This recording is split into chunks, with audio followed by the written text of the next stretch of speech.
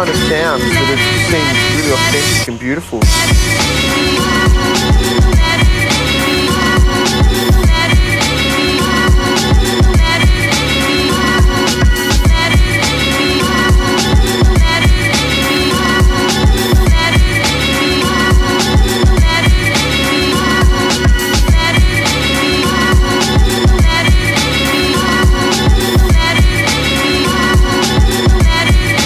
That's better than I thought.